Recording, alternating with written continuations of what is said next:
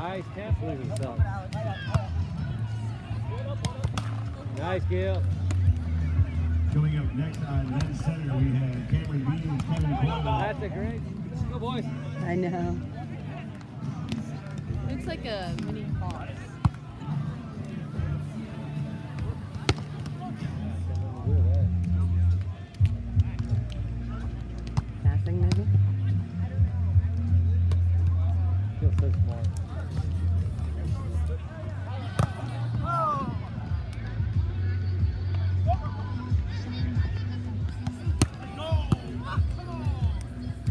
Just do that.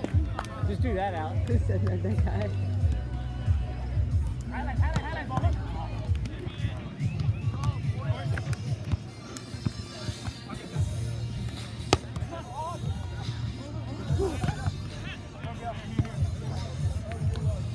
Get it, Gil.